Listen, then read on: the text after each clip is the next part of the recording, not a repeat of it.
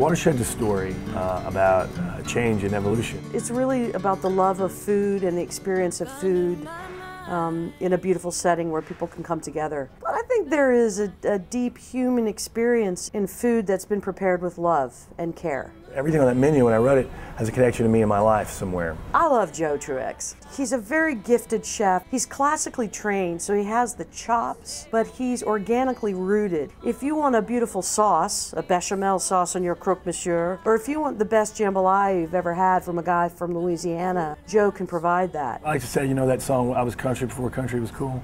Well, Watershed was farm to table before farm to table was cool. And it's not, you don't hang your hat on that. I mean, that's something that, this type of restaurant, that should be standard operating procedure.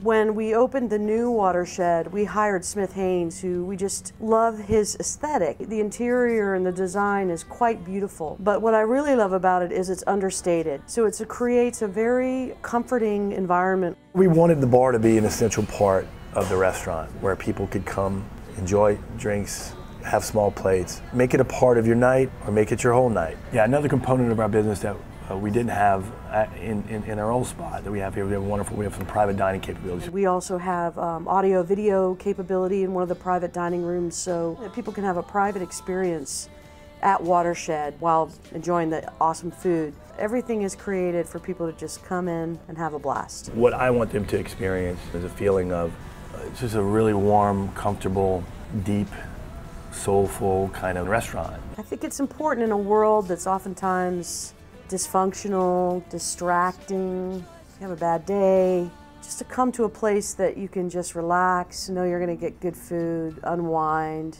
And I think it's important to create that kind of atmosphere for people. Not stuffy, it's fun.